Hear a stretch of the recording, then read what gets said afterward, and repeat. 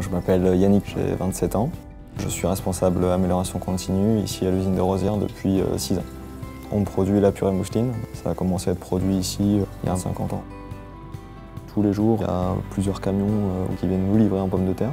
Les pommes de terre viennent de la région, elles viennent principalement du Santerre. Hein. C'est la région dans la Somme où est située l'usine. Et l'approvisionnement des pommes de terre se fait à 25 km autour de l'usine.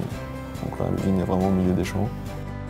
Euh, moi, à titre personnel, j'ai quand même un ancrage assez local puisque bah, je suis originaire d'ici, j'ai ma famille, j'ai mes amis qui sont ici. Et donc j'ai fait mon stage de fin d'études euh, ici pendant six mois, en 2010. Le stage s'était très bien passé et du coup, comme l'usine prévoyait de lancer la démarche d'amélioration continue, ils cherchaient à recruter quelqu'un qui avait justement cette compétence euh, de formateur.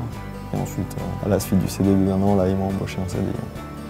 Ah, mes parents ne travaillent pas du tout dans, ce domaine, ils sont artisans. Mon père était couvreur pendant plusieurs années. Moi je me suis lancé dans l'industrie.